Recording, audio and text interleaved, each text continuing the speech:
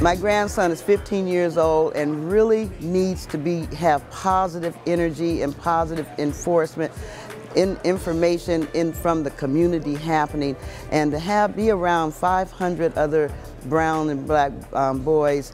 and have this kind of energy happening for him is just something that I'm so thankful um, and, and appreciative of. The summit today has been a great experience for myself as well as for the students. I've been fortunate to lead one of the caucuses and so students have been talking about the fact that they feel really good about being able to talk to different folks and get different points of views and the fact that they're doing really good in school and having this event here allows them to understand from different points of views of what's going on and what's important and also gives them an opportunity to change some of maybe some of their bad habits and understand some good things that we had to talk about. We have over 500 young black men here to learn, to empower themselves, to grow in the community, and take something back to the community that they can build on to strengthen them as young black men.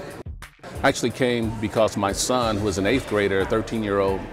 uh, was was invited to the conference, and upon coming, you know, when I walked in the door, I was surprised at all the individuals that were here, and it was so exciting. Listen to the presenters, listen to uh, going to the various caucuses and the workshops, and, the, and watching the young people at the breakouts and listening to them uh, give their opinions and, and just coming out and speaking about who they really are and where they're coming from and getting a better understanding of who they are was really interesting. So it's, it's nice to come together and be able to speak to these young people. I actually was pulled into as uh, a presenter as uh, to help out with the caucus because there were so many individuals that showed up and this has been a wonderful experience. And you know what? I'm really looking forward to the next time. And if you're hearing me right now you need to come because this is an awesome experience. Thank you